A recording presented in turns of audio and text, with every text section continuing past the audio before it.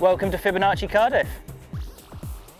It's about the Fibonacci numbers and the idea is we get images of people standing in the Fibonacci number sequences.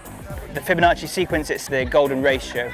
Uh, there's, there's all sorts of links to facial symmetry, how people take photos, even architecture. It creeps into the stock exchange. So it literally is everywhere. And how you work out the Fibonacci sequence, it's, it is really easy. The first two base numbers are one and one, and each subsequent number is the sum of the previous two. So one and one would be two, and then one plus two is three, and then two plus three is five, and so on and so on.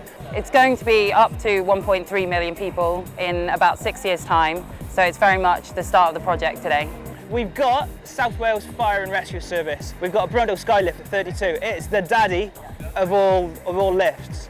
Um, so this goes up 32 metres. We're going to take a series of photos over here we've got a grid system, it's a triangle. So all the photos are going to be taken in triangle formation and then we will form the spiral from there. We're hoping to get number 12.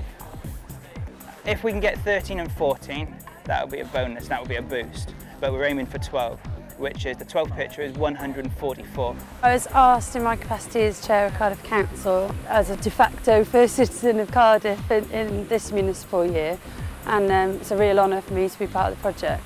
It looks awesome. I can't believe the scale of the setup. Um, and I've just been talking to some of your colleagues who told me it's going on for five, six years and the last photo is going to be 1.3 million people. So it's just an honour to be part of it. I've always believed if, if I want to make something happen, I've actually got to do it.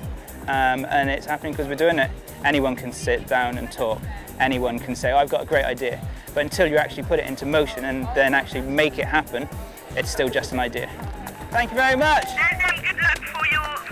It's part of the movement, guys. Have a look on FibonARTcci on Facebook, Twitter, and check it out. Thank you.